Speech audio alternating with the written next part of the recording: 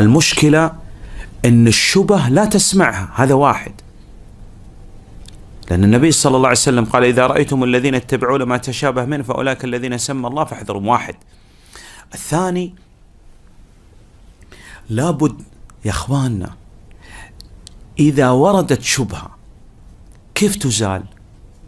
ها. جوجل تمام. جوجل. صح؟ اليوم كيف تزيل الشبهه؟ جوجل. وجوجل إيش؟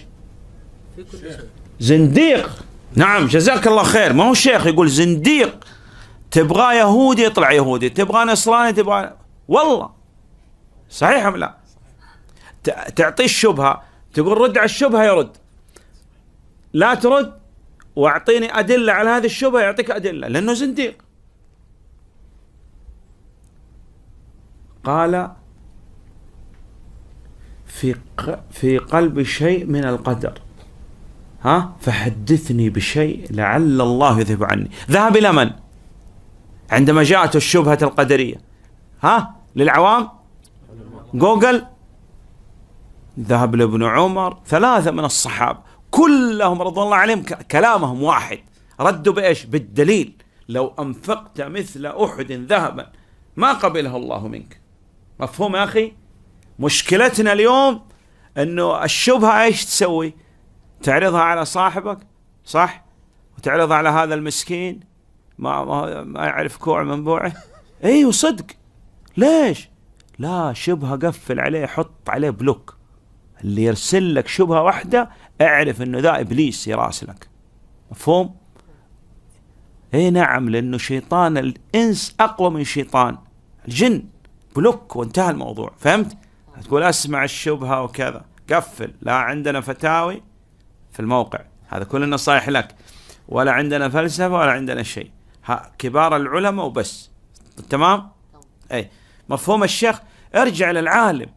فلو رجعت للعالم وأزال الشبهة بإيش؟ بالدليل.